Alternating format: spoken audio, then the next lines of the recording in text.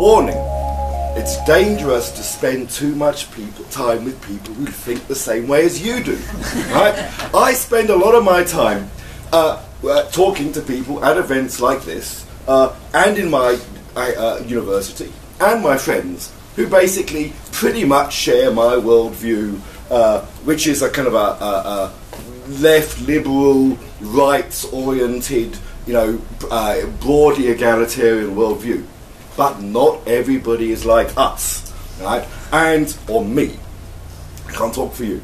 Uh, and uh, uh, uh, what I want to talk about today is really is is taking seriously people whose worldviews are actually in some ways quite different. My paper should really be called "Taking Conservatism Seriously," um, and I don't think that we do take conservatism uh, nearly seriously enough. Uh, I want to focus on social protection. I want to focus on what policymakers have to say about, think about social protection, uh, specifically in sub-Saharan Africa. Uh, um, I'll explain a little bit more about where this research comes from in a second. Uh, but very focused on what policy-making elites, not economic elites, not business elites, but essentially elected politicians, ministers, MPs, and very senior, generally politically appointed uh, uh, civil servants, bureaucrats. So what do policymakers think about uh, about these policies? Uh, I'm not going to say I'm not going to try and demonstrate that what they think is important. I don't want to demonstrate that ideas are important. I think that actually, when it comes to social protection, uh, it's fairly it's fairly clear to me that ideas are important. Um, partly because social protection raises very obvious normative issues uh, around who gets what and who deserves to get what right? Uh, but I, am not going to try and demonstrate it's important. I want to try and under, uh, uh, take, take, just assume for the moment that it is to some extent important, and then think through, well, what are the, what are the normative, what is the normative worldview of people who are influential in policy making in a part of the world uh, uh, which, as Francois Bourguignon reminded us this morning, is uh, persistently got high levels of poverty uh, and growing levels of inequality. Um, so, the, uh, as several people have said, uh, yeah, including Tom Lavers uh, earlier today, you know, that, that, most of the literature and the scholarship on social protection uh, focuses on interests and institutions. We don't pay so much attention to the world of ideas. Right? There is, of course, uh, uh, some work on ideas, mostly on the global north, contrasting the different ideas underpinning social demo democ democratic approaches, uh, uh, uh, Christian democratic approaches, liberal approaches to social protection, welfare state building, but very, very little really on specifically on the global south, very little on Africa. in my paper, I sort of summarize a range of research, um, not all of which I'm going to talk about now. some of it is about what happens when uh, uh, African policymakers, broadly defined, um, uh, rewrite global policy discourse, discourses in African uh, policy documents. In other words, how things like the Universal Declaration of Human Rights are vernacularized when they are when they are uh, uh, uh, reflected or, or, or, mirrored to some extent in documents produced by what used to be the Organization of African Unity, now the African Union, the AU to the AU and other organisations vernacularize global documents. And you can see a process whereby uh, sort of global policy discourses, including the underlying norms and values, are, are, are, are, transla- are, are modified. I don't, I'm not going to talk about that anymore. What I want to talk about today is primarily research based on interviews with policymakers. Uh, uh, uh, uh, about policy making. At the very end, I'm going to say something very, very quickly about popular beliefs. Now, the major study, that really the only major study that I'm aware of, which really focuses on what do elites think about uh, this issue, is a, is a PhD, originally a PhD by a Malawian uh, scholar, uh, Chippa Kalebe Nyamongo, who, who set out to interview uh, uh, elites in Malawi, not only political elites, but also economic elites and journalistic and academic elites. But she was uh, looking at elites generally, what uh, they thought about poverty and social protection policy. I'm not going to read it out. Uh, uh, you can see it for yourself. by the bottom line is, in her account, Malawian elites, except for the academic ones, are pretty critical of the poor and pretty sceptical about social protection policies. Right. Now, I think this is really important. To, uh, let me explain why I think it's important before I move on. It's important because huge amounts of the effort that, that people like me and us and UNRISD uh, deploy in trying to champion, in trying to promote particular policies in places like Africa is to persuade African policymakers that the evidence shows that particular kinds of interventions have particular kinds of benefits, e.g., they reduce poverty. Right? Uh, uh, for the most part, uh, I, I don't think that that is the stumbling block and a constraint on, on policy, on, on social protection reforms in Africa. Uh, for the most part, policymakers, I think, think it's not, they don't dispute the evidence that it might have beneficial effects on poverty. They, they think this is not something that they should do. Right? And, and certainly Kalebe Nyamongo's research suggested that this was certainly true in, in Malawi. I've been involved with, uh, and which parallels the research that Tom Lavers told us about earlier. We ran, we were involved in two different research programs, one based in Cape Town, mine, one based in Manchester, that Tom was involved in. Uh, and we were essentially looking at the politics of policy making. Uh, I think I'm right in saying that neither the Tom's or Manchester research, nor my Cape Town research started off thinking we're going to try and interrogate elite beliefs and attitudes. We were really more concerned with what we would now call process tracing around processes of policy making. But in doing so, we interviewed very large numbers of, of uh, and this is true for us as well as the Manchester team, very large, uh, many uh, civil servants, elected politicians, MPs, and the people who are interacting with them from international organizations and experts and academics and people like us. So uh, this research, oh, I'm, I'm going to try and summarize now, was not collected purposely to, in order to write a paper on elite attitudes. Right, so in the paper I suggest, I think that there's, there's really four key themes uh, which, which come out of certainly the research, the countries where uh, my team did research. Um, and none of these will be a surprise to people who have, who have worked in this field in Africa. The first is, is this extraordinary preoccupation with dependency amongst African policymakers.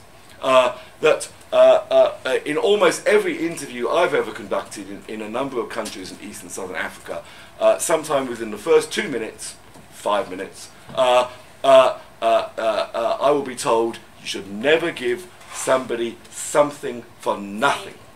You should never give them something for nothing. Now, this isn't something which was I was often told when I was growing up in the UK. Maybe you know it, it it's uh, but in amongst African policymakers, it's really important, and it's really bound up with this idea that that that that, that there's that the way the way we, the way to solve poverty is not by giving people things, but is of course it's developmental. It's teaching them to fish. You know, it's helping them to do things themselves. Uh, in, in fact, uh, giving them handouts is actually going to undermine their self-reliance, it's going to undermine incentives, etc. Right? So that's a, a, uh, a, a, very, very persistent argument. And those of you who uh, might, might have seen uh, Jim Ferguson's book on, on, on uh, social protection in Southern Africa, and he discusses this at length. Um, but this goes along, oh, oh, sorry, and so one of the implications of this is if you're going to do something for the poor, you should generally do it through workfare rather than cash transfer schemes wherever possible. In other words, you can't transfer cash conditional on work because then uh, uh, uh, you're not giving something for nothing. Uh, that's much, much better than uh, Bolsa Familia, or, or, or, for example. So um, that's the downside. The upside, I think, is that there's a very recurrent and wide, not universal, but very widespread uh, also emphasis on the possibility of responsibility. And this is precisely because uh, most uh, uh, African policymakers uh, we've interviewed don't really they don't, they don't, buy into a Western view of, of atomistic individual individualism. They believe that uh, uh, uh, uh, poor people need to be understood as, as members of kinship groups, communities, and so on. And that goes along with the uh, the presumption that the collective, the group, the kin group, the community, uh, or potentially even the state, has on behalf of society has some responsibility for poor people. Right? so uh, this is most obvious during droughts, where, where no policymakers that we have ever spoken to, I'm aware of, uh, in certainly in East and Southern Africa, would argue against the idea that the state should provide uh, uh, uh drought relief in times of drought. So in times of drought, it's treated as axiomatic. Of course, the state has to step in. And we shouldn't forget, this is probably the best example of successful social protection um, we can think of. Uh, that in outside of war environments, almost nobody dies of famine in Africa in the last uh, uh, uh 30 to 40 years. Um, so social protection around drought, uh, really important. And elites also accept that uh, orphans, particularly around HIV and AIDS, elderly people in certain contexts, these are these are are, are, are, are, are people who through misfortune have been neglected by their kin group, the community, whatever, um, and therefore are deserving of of assistance from the state uh, on behalf of society. Um, and th these two themes, dependency and responsibility, are bound up in, in the notion of re reciprocity. Uh, that uh, that that they that individ- that poor individuals have reciprocal obligations to other individuals in uh, uh, social groups. Um, uh, and that means that in fact you don't want to be dependent because dependency is in fact the antithesis of reciprocity. reciprocity. It says poor people are getting something for nothing, right? So just as uh, uh, society has got some responsibility for poor, so poor people have got a responsibility to society uh, or kin group or the community.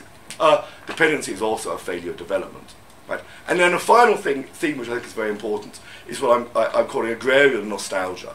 That most African political elites seriously under they don't underestimate poverty, right? unlike uh, the Mexican elites that Alice was talking about. But you know, that there's a very wide, good appreciation of the extent of poverty.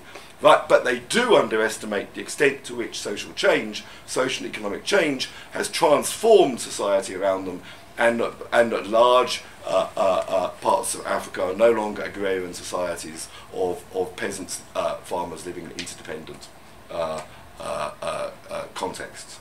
So in my paper, I give some examples of this. I'm not going to read these out. Um, there is some variation. here's some quotes from particularly opinionated former Minister of Finance in Zambia, who uh, thought that actually even the elderly shouldn't get pensions because um, you know it has you know they don't want to be dependent in advance. Right? Um, uh, this is a, I think the best example I've written about uh, quite extensively. The first president of, of Botswana, Seretse Khama, uh, who uh, uh, with his successors developed I think quite a, a, a coherent conservative uh, doctrine of responsibility, explaining why the state in Botswana uh, should assume responsibility for the poor, and the bottom line there being that Botswana uh, is particularly drought prone, and the Botswana state was really built around uh, uh, drought relief and what I'm conserving, what I call as in my other work, a conservative African welfare state. Um, but as you can see, there's also a strong emphasis on on reciprocity and on the responsibilities of the poor uh, themselves. They must work. They can't be idle. Right? Uh, Zola Skweyiya is a very influential Minister of Social Development in South Africa. In South Africa, is seen as a big reformer. In some respects, is seen what I would see as being quite like Seretse Khama in articulating a, a, a discourse of responsibility.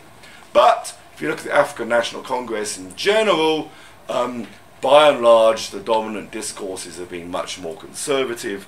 Uh, in fact, even Nelson Mandela, in his inaugural speech uh, as president in May 1990, uh, was very insistent right, that he says, We will confront the scourge of unemployment not by way of handouts, but by way of the creation of work opportunities.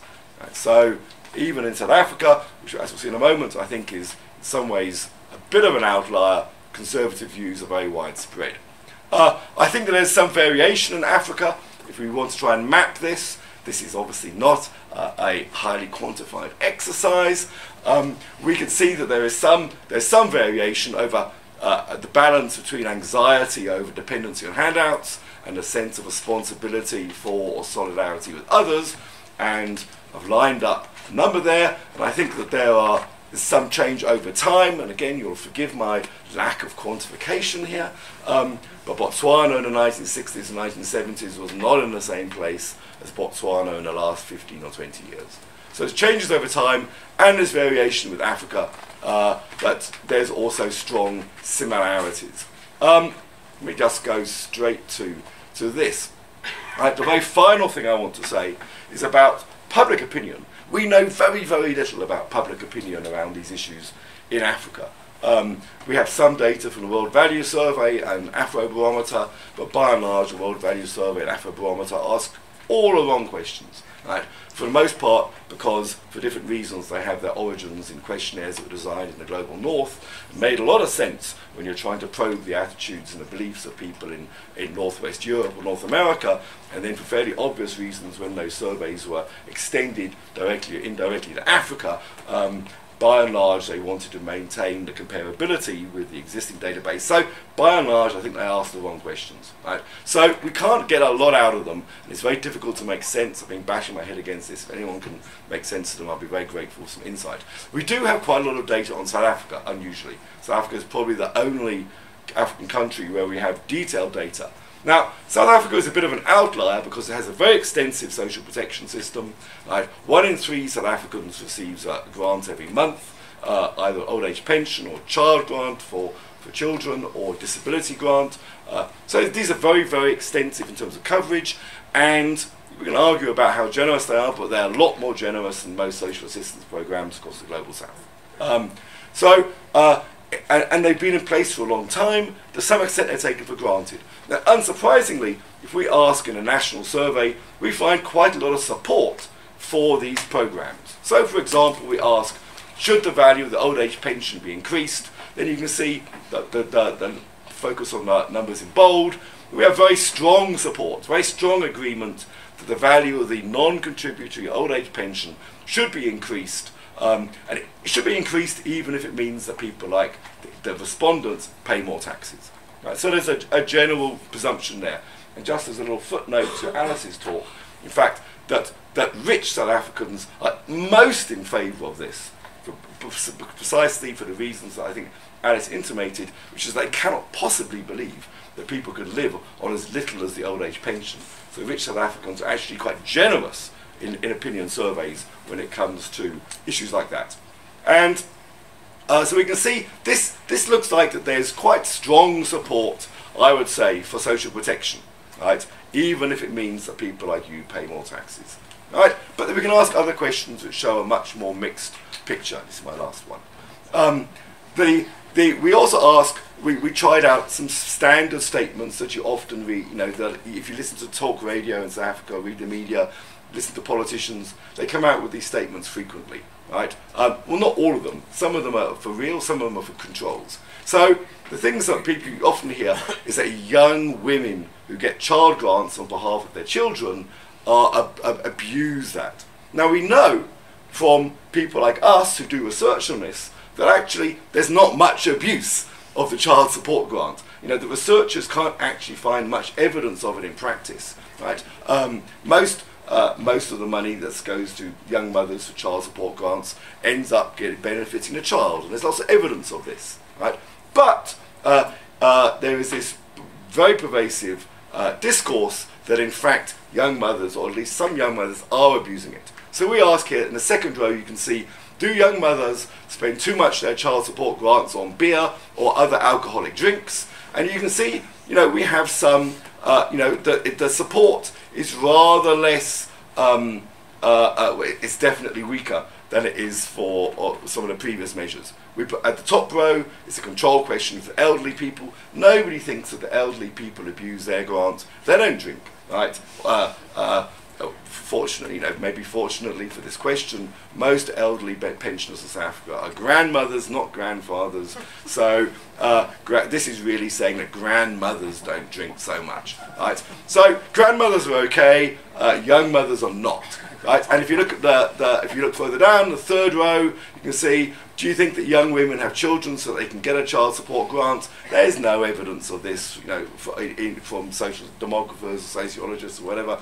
But we can see, whoa, 38% say they agree, and another 29% strongly, sorry, 24% to 26%, 50% of people actually agree that, that, there's, that there's, in a sense, this is a negative incentive. Now, uh, know, we are social scientists you know, might you know be, go around to policymakers and say the evidence this is very weak, right? But I think that policymakers in South Africa are very aware that many of their constituents, right, have quite conservative views about some of their grants. Uh, I can't demonstrate it, but my sense is that even in South Africa, right, policy pol politicians' views on social grants are, are, if anything, reinforced by the conservatism of their constituents. Uh, uh, and if that's true in South Africa, it's even more likely to be true in the rest of Africa. Thank you very much.